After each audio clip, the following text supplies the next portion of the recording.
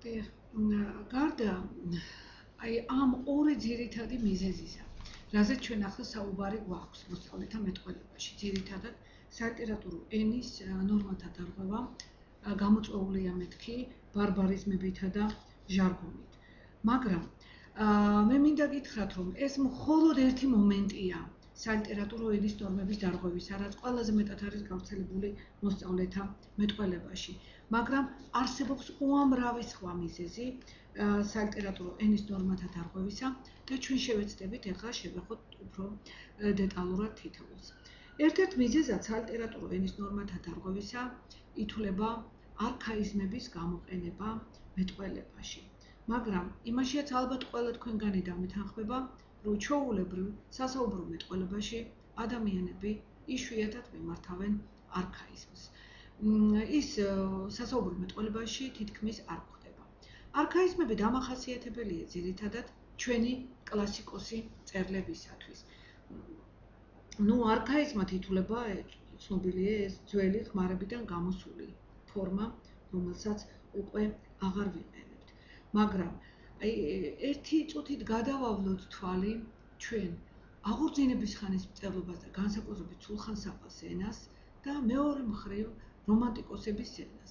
ნახავთ, რომ რომანტიკოსების ენა ბევრად უფრო რომანტიკოსების ენას ბევრად უფრო აზის არქაიზმის ბეჭედი, ვიდრე იგივე სულხან საბა ორბელიანის ენას. რა არის ამისი მიზეზი? ალბათ ის, რომ ჩვენი რომანტიკოსები ზედმეტად იყვნენ გატაცებული ამ არქაიზმებით, ეს იყო მათი ერთ-ერთი სტილური თავისებურება და ამის გამომწვევი მიზეზი, როგორც სპეციალისტები ვარაუდობენ, გახლავთ ანტონ კათალიკოსის მიერ გატარებული ენის რეფორმა და ეგრეთ წოდებული სამი სტილის თეორია. ნუ არქაიზმებში შეიძლება ჩავთვალოთ როგორც ლექსიკური არქაიზმები, ლექსიკური ერთეულების სიტყვები, ასევე გრამატიკული არქაიზმები და აი ჩვენ რომანტიკოსებთან გვხვდება ასეთი სიტყვები, როგორიც არის ხსნობთ აქ ორი სუბიექტური ორ პირის ნიშანია. ერთდროულად გამოყენებული მეორე პირისათვის. ჰაე და სანი. ან კიდევ სჯობს ან კიდევ ნახოთ ხჭკნების და ასე შემდეგ ეს გრამატიკული არქაიზმებია. ილია ძალიან ფრთხილი იყო არქაიზმების გამოყენებაში. თუმცა ზოგ შემთხვევაში ისიც ვერ გაექცა ამ გრამატიკულ არქაიზმებს და ხშირად ხდება ხოლმე მის ნაწერებში პარალელური ფორმები, როგორც არის სჩანს და ჩანს. ან კიდევ შესდგა და შედგა ყვავის და ყვავის აღზდგა და აღდგა. ესე იგი, ეს ძველი და ახალი ფორმები პარალელურად განაგზობენ არსებობას და ალბათ ამის მიზეზი უნდა იყოს, რომ ხდება პარალელური ფორმები აღვიარებ და ვაღიარებ.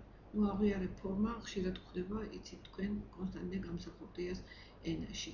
აი პარალელური ფორმების არსებობის მიზეზი მაშ გახლავთ არქაიზმები. და რო კერთხელ კიდევ ვიმეორებ, როგორც სპეციალისტები ვარაუდობენ, ეს ანტონის სკოლის გავლენა უნდა იყოს. ახლა რა შეეხება დიალექტების გავლენას სალიტერატურო ენაზე საერთოდ და ენაში პარალელური ფორმების არსებობაზე. მოგეხსენება თქვენ რომ ქართული სალიტერატურო ენის ჩამოყალიბებაში მეტნაკლებად ყველა დიალექტმა მიიღო მონაწილეობა, განსაკუთრებით კი აღმოსავლურმა დიალექტებმა, ქართულურმა და კახურმა. აა მაგრამ აი სხვადასხვა კილოს სხვადასხვა ფორმა შემოაქვს ენაში. ქართული და იგივე ქართული და კახური დიალექტების გავლენა უნდა იყოს ის, რომ ხდება პარალელური ფორმები შევატყე აღმოსავლურია და მართებული შევატყე. დავაწყე და დავაწყე. სწორი ფორმა გამოაცხე და გამოაცხვე და ასე შემდეგ. ეს უკანასკნელი ფორმები შევატყვე, დავაწყვე, გამოვაცხვე, მოვაწყვე. სწორი რომ არის ეს ჩანს იქიდანაც რომ მესამე სერიაში გვაქვს შემიტყვია, დამიწყვია, გამომიწყვია, მომიწყვია. ასევე ამ დიალექტების გავლენით უნდა იყოს განპირობებული ისიც, რომ პარალელური ფორმები გვხვდება ხოლმე პირის ნიშნების n და n იბრძოდნენ და იბრძოდნენ. ეს ნენ დამახასიათებელია ძირითადად სალიტერატურო ენისათვის და დიალექტების გავლენით უნდა იყოს აი ეს პარალელური ფორმები შემოჭრილი იბრძოდნენ, აკეთებდნენ და ასე შემდეგ. ისიც ვიცით რომ მე-19 საუკუნის 60-იან წლებში ხალხურ ენას ფართოდ გაეღო კარი. ამან შესაძლებლობა შექმნა, რომ ქართულთან და კახურთან ლიტერატურული ენის განვითარებაში მონაწილე ყოფილიყო სხვა კილოებიც, როგორც არის მოხეული ფშაური, იმერული. და როგორც აკადემიკოსი ვარლამ თოფურია აღნიშნავს, წარმოიშვა ორი მიმდინარეობაო. ამერ იმერეთისა და ამერისა და იმერეთისა და წარმოიშვა ამის გამო პარალელური ფორმები, როგორც არის გაულეწია, გაულეწნია და გაულეწავს. გაუბედნია, გაუბედია და გაუბედავს. ну თუ რომელი ფორმაა სწორი, ისევ გრამატიკას უნდა მივმართოთ და ვნახოთ, როგორია ამ ზმნის საწყისი ფორმა და რა თემის ნიშანი აქვს მას და ამის მიხედვით უნდა განსაზღვროთ გადაყვება თუ არა მესამე სერიაში მას ეს თემის ნიშანი. დიახ, აა პარალელური ფორმების არსებობის მიზეზი ენაში გახლავთ აგრეთვე სხვა ენათა გავლენა. მოგეხსენებათ, რომ ქართულს საქართველოს სოციალურ-პოლიტიკური კულტურული ვითარება ჰქონდა სხვადასხვა პერიოდში სხვადასხვა ქვეყნებთან. ჯერ საბერძნეთთან, შემდეგ აღმოსავლეთის ქვეყნებთან, ცოტა მოგვიანებით რუსეთთან, ევროპის ქვეყნებთან და აი ამ კავშირის მეშვეობით ზეპირი თუ ციგნის თარგმნის გზით ქართულში შემოვიდა აუარებელი სიტყვა და გამოთქმა. საქმე ის გახლავთ, რომ ციგნიერი გზით სიტყვა სხვა ფორმით დამკვიდრდა ენაში, ხოლო ზეპირი გზით იგი სხვანაირად შემოვიდა. მაგალითად, ბერძნულიდან შემოსული სიტყვები ხან გთია გადმოცემული, ხან ღთი. აკაკისთანი თქვენ შეხვდებათ გეოგრაფია. ხომ? ასევე შეიძლება შეხვდეს ფორმები გეომეტრია, ლოგიკა, ტრაგედია და ამის მიზეზი ის გახლავთ, რომ ბერძნულიდან გ-შემცველი სიტყვები გადმოცემულია ხან გ-თი, ხან ღ-თი. ეს განპირობებულია იმით, თუ რა გზით არის ეს სიტყვა შემოსული, ზეპირი გზით არის თუ წერილობითი გზით. ასევე მაგალითად, ოს შემცველი სიტყვები რუსულში, ახლა მოგეხსენებათ, იწერება ო, ხშირად და იკითხება ა. ეს იმ შემთხვევაში, თუ ოს მახვილი არ მოდის არა? მაგრამ ეს ოს შემცველი სიტყვები ხან 4-ია შემოსული ქართულში ხან 10 მაგალითად გვაქვს კომისია კონტროლი. ეს შემოსული არის წერილობითი გზით მაგრამ სიტყვა კანფეტი რომელიც რუსულში კონფეტათი წერება როგორც ჩანს ზეპირი გზით არის შემოსული და დამკვიდრებული. ასევე ზეპირი გზით არის შემოსული და დამკვიდრებული სიტყვა ვაგზალიც ზეპირი გზით არის შემოსული სიტყვა ლიმონათი, რომლის წერილობითი ფორმა გახლავს გახლავთ ლიმონადი. აი ესეც გახლავთ ენაში პარალელური ფორმების არსებობის მიზეზი. გავლენა დაეტყო ბუნებრივია სინტაქსსაც. რუსულის გავლენით გაჩნდა ტენდენცია, აი ისეთი შემთხვევებისა, როდესაც შემასმენელი ყოველთვის მრავლობითში ითანხმებს ქვემდებარეს, უკაცრავად, როდესაც ქვემდებარე მრავლობით რიცხვშია, შემასმენელსაც ყოველთვის მრავლობითში შეითანხმებს. განურჩევლად იმისა, ეს ქვემდებარე სულიერსაგან საღნიშნავს თუ უსულოს. რუსულში ასეა, ინგლისურშიაც ასეა და დღეს აი ინგლისურის გავლენით უნდა ახსნათ ალბათ ის, რომ ხდება ხშირად აი ასეთი ფორმები მანქანები დგანან. გარდა სწორი ფორმა არის მანქანები დგას. ისევე როგორც სწორი ფორმა ვაშლები იკრიფება და არა ვაშლები იკრიფებიან, ხომ? ქართულისათვის ბუნებრივი ფორმა გახლავთ ეს. აი საბჭოთა პერიოდში მაღაზიებში ხშირად შეხვდებოდით ასეთ წარწერას, სპეციალისტები ხშირად მიუთითებდნენ ამაზე, რომ არასწორიაო, მაგრამ მაინც ხშირად არ ხერხდებოდა ამ წარწერის ჩამოხსნა. დღეს გაყიდვაშია და ჩამოთვლილი იყო ის საგნები, რაც იმ მაღაზიაში იმ დღეს იყიდებოდა. არის ამის მიზეზი, მეგობრებო? რუსულის გავლენა, რუსულის კალკი, რუსული სიტყვა სიტყვითი თარგმანი, სივონია პროდაჟი, იმეცო პროდაჟა და ეს სიტყვა სიტყვით ვთარგმნეთ რუსულიდან.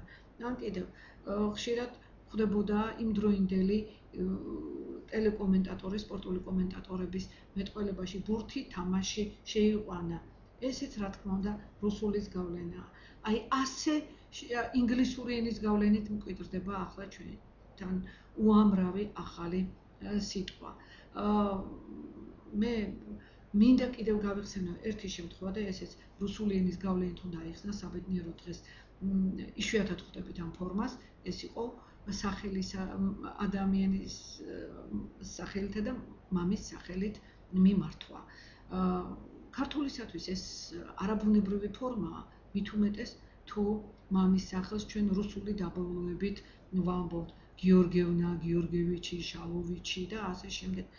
კიდევ კარგი დღეს ასეთი ფორმებით არავინ აღარ მეტყველებს. მაგრამ სამაგერო დღეს ხშირად მოვისმენთ ისეთ ფრაზას, როგორიც არის განუმეორდები და ვიტყვი. ну ქართულისათვის რა თქმა უნდა არ არის ის დამახასიათებელი უნდა ახსნათ ესეც სხვა ენების გავლენით. კიდევ ერთი მიზეზია ენაში პარალელური ფორმების არსებობისა, მეგობრებო, ეს არის თვითონ ენის მისწრაფება, რომ ნიშნულობის განსასხვავებლად სხვადასხვა ფორმები შექმნას.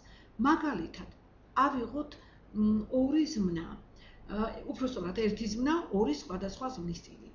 ეს იქნება გაზრდა და აღზრდა. უზმნის წინო ფორმა გვექნება როგორ?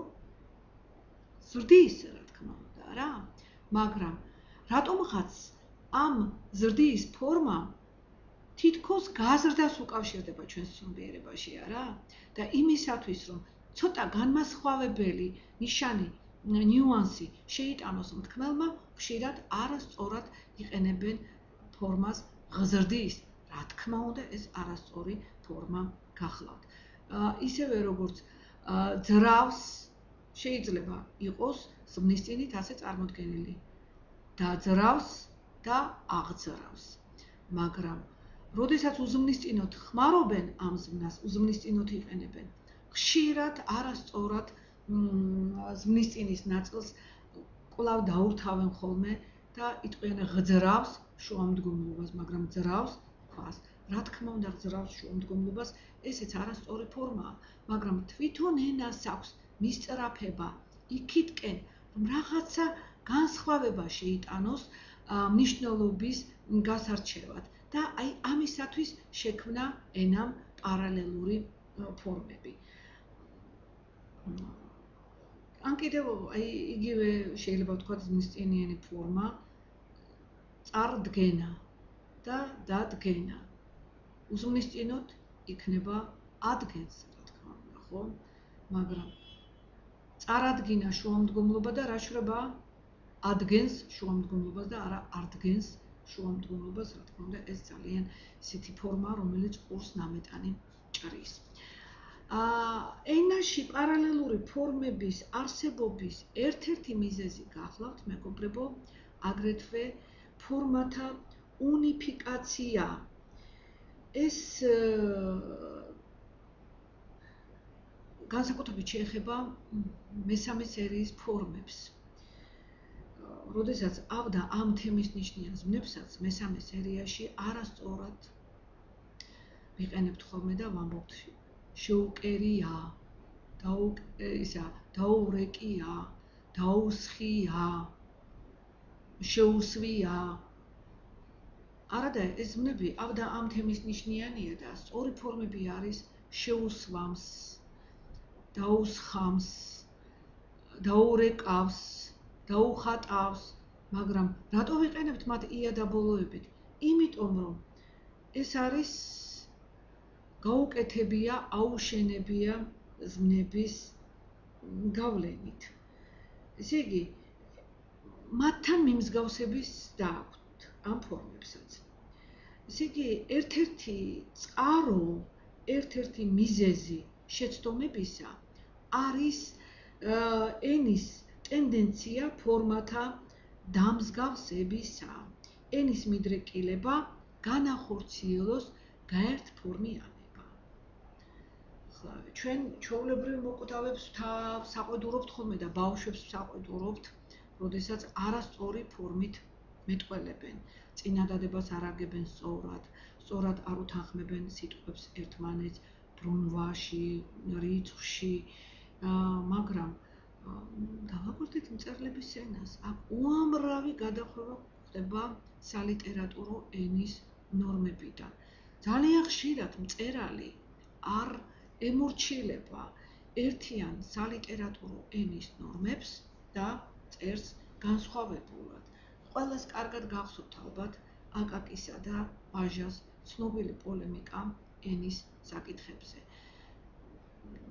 აკაკი ცნობილია რომ ხშირად საყუდურობდა ხოლმე ბაჟას და ბაჟამაც გასცემავს სათანადო პასუხი მიარცეთ კილოს აღწმუნდა მაგრამ ის რაც ეპატიება წერალს განსაკუთრებით ისეთ მწერალს, როგორიც არის ვაჟაფშაველა ან ყაზბეგი, არ ეპატიება მოსწავლეს. იმიტომ რომ მოსწავლესთან ეს გამოწვეულია ენის კანონების უცოდინდრობით. მაშინ, როდესაც ეს არის ამ წერლების ინდივიდუალური სტილი და ერთი კრიტიკოსი მახსოვს წერდა კიდეც ალექსანდრე ყაზბეგის შემოქმედებაზე, რომ ყაზბეგიო ძალიან ხშირად არღვევს სალიტერატურო ენის ნორმებს, მაგრამ რა სტილი, რის სტილი, ოდესაც ყაზბეგის თხზულებებს კითხულობო. ერთი სიტყვით წერლებს უნდა ვაპატიოთ ჩვენ, აი ამგვარი დარღვევები, მაგრამ ჩვენ თვითონ ვეცადოთ, რომ დავიცვათ სალიტერატურო ენის ნორმები და ვიმიტყველოთ სწორი ფორმებით. ამით არ მთავრდება, მეგობრებო, სალიტერატურო ენის ნორმათა დარღვევის მიზეზები.